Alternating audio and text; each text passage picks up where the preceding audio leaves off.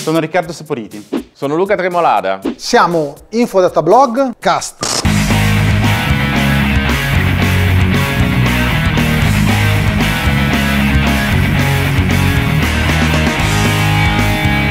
Parliamo di ambiente. Parliamo di ambiente e di temperature. Parliamo di ambiente, temperature e meteo. In sostanza parliamo di riscaldamento globale. Secondo il quinto rapporto dell'IPCC abbiamo 12 anni per contenere il riscaldamento globale entro un grado e mezzo, altrimenti sarà una catastrofe.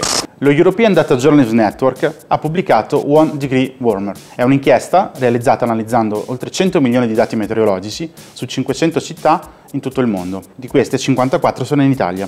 I numeri coprono gli ultimi 117 anni di storia e ci permettono di fare un raffronto tra il secolo scorso e quello attuale. Una premessa. Caldo e freddo ovviamente sono due concetti relativi. Per comprendere le differenze abbiamo usato un calcolo combinato delle deviazioni standard dalla temperatura media registrata tra il 1900 e il 2017. Ciò detto, ci sono delle città nelle quali il principale effetto del riscaldamento globale consiste nell'aumentare le giornate che sono considerate calde.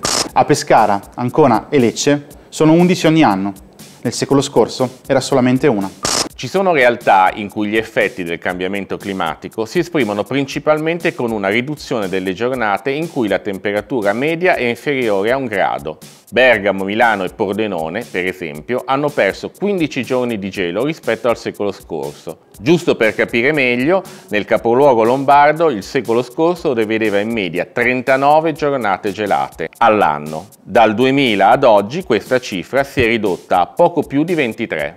Attenzione, non ci sono valori negativi. In nessuna delle 558 città analizzate si è registrata una riduzione delle temperature medie annue. In Italia, come si può osservare dalla mappa, l'aumento delle temperature medie ha riguardato soprattutto le città del nord. Il record spetta a Pavia, dove l'aumento è stato di 1,29 gradi. L'aumento più contenuto ha riguardato Cagliari, dove l'incremento è di soli 0,3 gradi rispetto al secolo scorso. Insomma, Fa caldo, anzi si schiatta dal caldo.